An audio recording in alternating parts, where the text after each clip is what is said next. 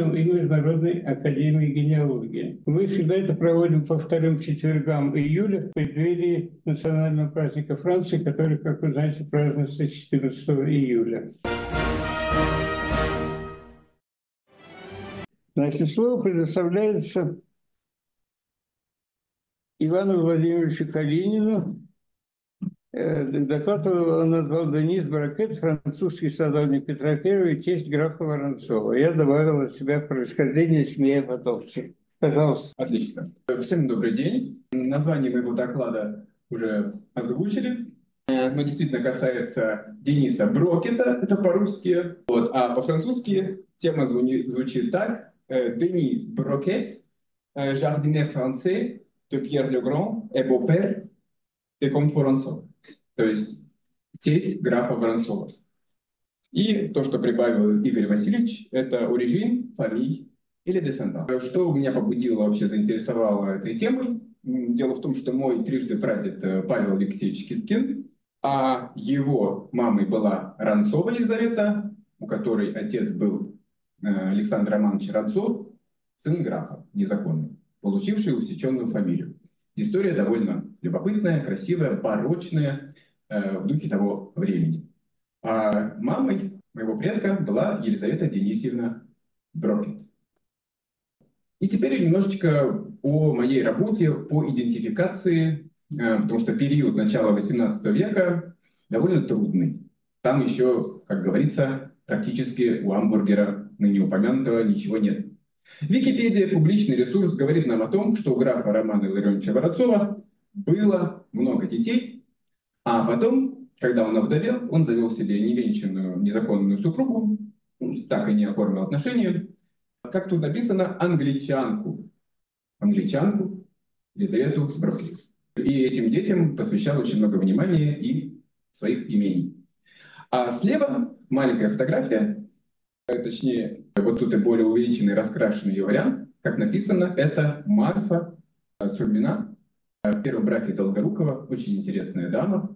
Э, они много пишут э, сейчас в том числе. Ну как же, э, в 11 лет выйти замуж, а в 13 развестись, а в 17 снова выйти замуж. Вот такие были времена. А почему это, собственно, жена, первая жена графа Воронцова, с которой он прожил, прижил таких знаменитых личностей, как будущая княгиня Дашкова и так далее, и так далее. А почему же это именно она? Ну, мы можем посмотреть, что источником этой иллюстрации, точнее ее атрибуции, является собрание Русского музея, каталог 1980 года, в котором в Русском музее это э, полотно и хранится. Я так полагаю, что оно цветное. А подробности не вдавался. Но э, Русский музей русским музеем, а в Русском генеалогическом обществе существовала такая исследовательница Савина, которая занималась непосредственно Ранцовой и э, публиковала в нашем русском генеалогическом обществе в сборниках материалы. Первая публикация была э, «Кто такие Ранцовы?» 97 год.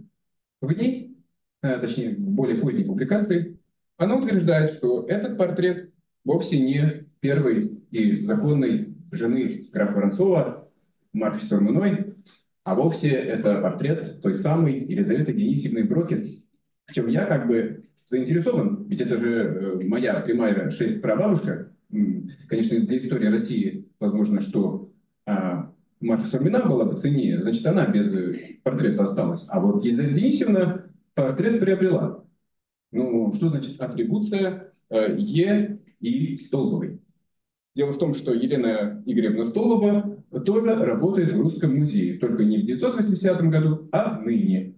И она очень многие портреты, которые мы знаем по школьным учебникам, например, Витуса Беринга, как бы переориентировала. Оказывалось, например, что портрет э, какого-то мальчика оказался портретом э, княгини Дашковой, а популярный портрет Лермонтова оказался каким-то немецким бароном. Просто потому, что, возможно, в советские годы не так была важна атрибуция этих портретов. Вот. Так вот, именно она э, посчитала, что это портрет Елизаветы Денисовны. Таким образом, мы говорим о личности, которая в общем, изображена на полотне из Русского музея, уже как минимум значимость придается. Так что мы выбираем точку зрения э, актуальную, современную и более мне лично приятно, что вот графа Романа Ильич и его немечная супруга. К слову, супруга э, писала очень много писем своему мужу. Так, например, сохранились порядка двух десятков писем и к его брату, и его ответные. Она мужа именовала «мой батюшка», а он ее, по-моему, дорогой друг. Вот такие были формы, э, где она рассказывала о жизни Ранцовых, а он, собственно, в чем-то тоже своем. Писать она умела. Причем письма, по-моему, были все на русском языке. А теперь э, скажем еще о том, что эта персона очень популярна в культуре. Например, недавно вышел сериал, который называется «Тайная миссия Казанова», а где во второй серии некая Елизавета Брокет, отрицательный персонаж, что-то там э, крадет и прячет, а в какой-то потом серии это ее пытают, и она выдает, что она украла. Вот. Естественно, а, сюжет фильма был э, составлен на основании каких-то открытых популярных источников. Но вот не задача. Вот тут немножко описывается, кто она. Она обвинялась в краже автографа. Но это уже популярная современная культура. Э, также вот э, в книгах пишут одно и то же, как правило, что родилось четверо детей. Так кто же был ее отец? А, Денис Брокет – это тоже непростая личность. Это придворный садовник при Петре Первом и при Екатерине Первой, который, если верить энциклопедиям дореволюционным еще, чуть ли не стоит у истоков всего того, чем знаменит наш город в плане дворцово-парковых ансамблей.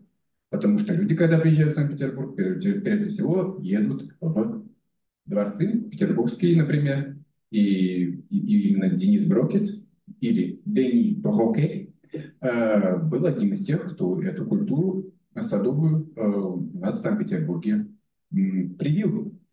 Так вот, как же связать две такие красивейшие истории? Садовник Петра Первого и э, жена графа Воронцова. И ведь она же англичанка, вот, например, в книжке, э, прошу прощения, в кандидатской исторической диссертации она называется «Англичанкой. Как у француза дочь может быть англичанкой?» Ведь это же абсурд. Э, француза, француза дочь, скорее всего, француженка. Вот в другой работе э, пишут, что Елизавета – это сожительница Романа Илларионовича, дочь французского садовника. Потому что я, например, э, не являюсь профессиональным историком, и свои открытия, которые ведут в генеалогии, публикую в открытых источниках. Может быть, кто-то эту гипотезу меня подчеркнул и просто э, скопировал. Не знаю, может быть, это где-то прямо указано, что она дочь садовника. Э, во всяком случае, идею эту я тоже не создал, а получил от родственницы, которая на, на два поколения меня старше, и тоже потомок этого рода, а я просто развиваю дальше. Итак, есть выписка из Купчей э, «Каменный дом» Елизаветы Денисовны Брокет, который находился во второй адмиралтейской части по Столярной, Мещанской затем Третьей улице. Это архив РГИА, где написано, в частности, что Елизавета Брокет французской нации, но при этом санкт-петербургская уроженка. Вот э, французской нации, не знаю, имелось ли в виду подданство или национальность, но так или иначе, в 1793 году некая Елизавета Денисовна, француженка, продает дом в Санкт-Петербурге. Графа Воронцова тогда уже не было живых. А при этом а, в Медушах, это часть Воронцовского имения, доставшихся, доставшаяся Ранцовым, э, присутствует Елизавета Денисьевна Барыня, то бишь она пережила э, своего мужа и жила в этом имении. Э, может ли быть одновременно Елизавета Денисовна англичанка, Елизавета Денисовна Брокет француженка в том же самом статусе, в те же самые годы? Очень сомневаюсь. Полагаю, это одно лицо. Полагаю, атрибуция ее как англичанки неверна, и источник на нее тем более не указан. Ну, тут э, несколько моих э, оригинальных исследований и выдержки из метрических книг э, церкви села Людыши, где Елизавета Денисовна присутствует, но еще и Елизавета Крестьяновна, некая барышня Медушской мызы Елизавета Крестьяновна. То есть Елизавета Денисовна один раз э, была восприемницей у дворовых людей, а Елизавета Крестьяновна аж много раз. Причем она именуется то барышней, э, то барыней мызы, э, то дворовой барыней. Один раз даже ее именовали просто в конце уже дворовой девкой. А, вот. А, то есть Медушской мызы дворовая девица Елизавета Крестьяновна.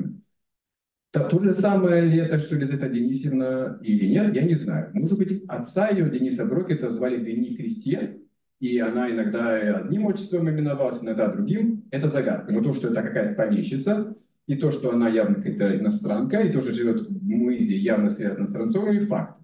Не знаю. Вот пример базы Амбургера, о которой был предыдущий доклад, который упомянут Андрей Броке, э, как тоже садовник, но в более поздний период, Андрей Денисович, то бишь явно сын того садовника, пошедший по стопам отца и находящийся в Москве в Слободе. Я, к сожалению, нигде больше не встретил информацию о семье этого Андрея, но очевидным образом это брат Елизаветы. Ну и, наконец, был такой французский архитектор Жак Брокет, может быть, однофамилец, но по мнению некоторых исследований, их я недавно нашел, что это были два брата, Жак и Дени, то есть Денис и Яков Брокеты, которые приехали из э, Франции вместе. Один садовник, другой архитектор. Вот. Их часто путают, потому что не всегда указано имя или инициал. Ну, тут некоторые выдержки. Очень важен здесь оказался для меня такой источник, как оцифрованные книги и публикации Российской государственной библиотеки в Москве удивительный источник, э, который может за несколько часов изменить всю вашу родословную. Я пока готовился к этому докладу, мобилизовал свои э, психологические усилия и нашел очень много. И вот получилось такое древо. Вот Елизавета Денисовна, граф Роман Илларионович, Андрей ее брат, отец Денис, у Дениса брат э, Жа, э, которого здесь я не добавил. И еще, ну, мне как потомку хочется, конечно, побольше предков этой семьи поскольку э, хочется узнать, где они жили во Франции, чем они занимались и так далее. Вот. И в одном из документов я даже нашел, что у, у садовника была теща Анна Мари Петровна. Ну, из этого я сделал вывод, что отца ее звали Пьер, соответственно, э, там прадедом Елизаветы Денисовны был некий Пьер. Но это очень малое, так сказать, дополнение к генеалогическому древу. Вот. Ну, тут разные истории о Денисе Брокете, в том числе как раз вот приводится пример э, в Екатеринбурге его сад и чем он был знаменит. Объекты, архитектор Яков Брокет, садовник Денис Брокет. И э, самое интересное я нашел в книге Аллы Юрьевны Михайловой «Французские художники», где она говорит, цитируя какой-то или архив, или книгу, я не знаю, что его величество то бишь французского э, монарха, гардинера, то бишь королевского гардинера, то есть садовника, именем Дениса Брокета, живущего в Париже на Орлеанской улице в приходе церкви святого Медара, учинить с ним контракт. И именно обязуется помянутый Денис Брокет ехать в Санкт-Петербург немедленно. Ну, насколько я понимаю, поехал он все-таки не сразу, поскольку успел почему-то еще и брат своего значит, взять, или позже перевез. Но этот садовник, получается, придворный э, французский, то есть при Тоже очень интересно. Но, к сожалению, вот э, у меня с географией Парижа, рубежа 17-18 века не очень все хорошо. Церковь Медара я нашел, но она не на Орлеанской улице. Потому что в плане Парижа Орлеанская улица если сравнить, то они на разных берегах Сены. Поэтому меня проблемы возникли с дальнейшей генеалогической идентификацией предка. Но уже есть его брат Яков, так что неплохо. Что еще хотел отметить? Э, много дореволюционных источников про Дениса Брокета. Его называют знаменитым садоводом э, при Анне и так далее. Э, и еще интересно, что Э, в архиве РГАДа древних актов тоже есть э, документы о Денисе Брокете. Э, архив этот, спасибо ему большое, ограниченное время разместил свои описи в портале Яндекса, что мне позволило найти по, по слову Брокет шифры этого дела. Через два месяца контракт был расторгнут, и больше никто в РГАДа пока по, по поиску названия так сказать, дела найти не может информацию. Вот. Ну, буду искать. А это вот из того, что я лично посмотрел о садовнике, это дело 1722 года, где упоминается его та самая теща. Я долго не мог понять. Надеюсь, что вот наше мероприятие, которое организуется вроде как упоминалась консульство Франции, кто-то поможет прочитать. Но вот э, теща, которая подписалась за э, значит, своего зятя, который отсутствовал, а его в чем-то обвиняли, вообще Денис Брокет был человек достаточно интересного характера. Например, он э, на другого садовника написал донос, что тот, дескать, заказал вместо культурных саженцев э, обычные дикие деревья. То есть коррупция тогда же не было. Вот. А потом этого садовника оправдали. Это я прочитал в одной книге. А здесь говорится, что на него самого кто-то написал жалобу, что он с мужиками поплыл в лодке там, с от этих дворцов куда-то там а, отдыхать. Вот. И теще пришлось за зятя отдуваться. Спасибо ей большое, я поместил таким образом ее в генеалогическое древо. Так как же ее звали? Она подписалась, и звали ее как? Вот что вы можете прочитать? Анна, правильно. А второе слово? Птары. Анна Птары. То есть, если у нее была фамилия, то явно не Брокет, она же мать его жены, соответственно, фамилия еще одна. Ну, я подумал, что это Анна Мари. И, и все.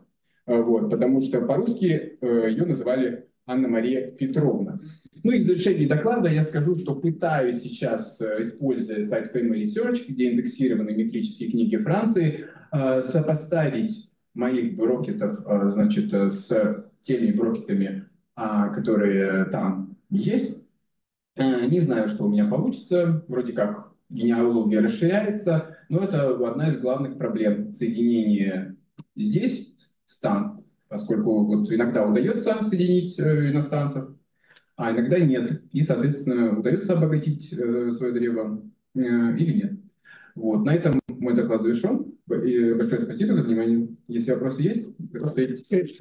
Большое спасибо. Есть ли вопросы к докладчику? Есть желание. Не так быстро в следующий раз. Мы не успевали читать, так интересно. Отправлю презентацию вам лично. У меня такой вопрос. Вы кончили идеи обратиться к метрическим книгам. Но ведь метрические книги все сохранились во Франции. Да. Они, то есть по каждой книге вы найдете всех прихожан. Э. Это как бы сулит вам какие-то открытия. Эти книги не просто сохранились, но усилиями людей они индексированы. Они уже даже... Э, и можно вбить в базу написания фамилии, и поискать э, вот уже по конкретным... И вы собираетесь это делать? Ну, я уже пробовал это да. делать раньше, но мне не получилось. Э, не было тех Денисов Брокетов. Но теперь я знаю, что был еще брат Жак. Может, по Жаку удастся? Может, книга э, о рождении Дениса не сохранилась, а... Или кто-то другой там, может быть, может быть, тихие родители или ну, я же не знаю, кто родители. Да, там может фамилия присутствовать. Если это просто Брокет, у меня же не будет. Если бы он был бы Денис там, Петрович хотя ну, бы, да. да, а он, они все фигурируют просто как Жак и Денис. Соответственно, нету их отчества, соответственно, я, э, мне не за что зацепиться. То есть э, вот это и есть проблематика. А так, конечно, там пару-тройку поколений. Вот. Тем более он был придворным садовником, соответственно, он мог быть нанят а сам происходить из другого региона или вообще из другой страны, быть действительно англичанином. То есть это требуется еще раз добыть э, эту информацию. Но да, эти книги э, и, и немецкие, и австрийской империи, и французской не просто выложены в э, сеть, но еще и индексированы и доступны для поиска. Мне кажется, что вы не упомянули в, своей, в своем докладе фамилию Ржевудский. Вам эта фамилия что-нибудь говорит? Он, дело в том, что Ржевудский и сам, и в компании с какими-то французскими коллегами, он создал подробный словарь о французах в России. Если вы эту книгу не смотрели, она настолько толстая и подробная, и настолько он сам по себе, и они вместе, добросовестные исследования, то, может быть, у них что-то найдется, то, чего вы не ожидали. Может На эту фамилию. Значит, запомните фамилию Ржевудский, она по-моему, только на французском языке вышла. Но в нашей библиотеке она есть. Он был наш коллега. И сейчас, так сказать, мы помним его и держим с ним связь. Желаю успеха. В любом случае, у вас как бы очень масса загадок, которые надо решить. Спасибо.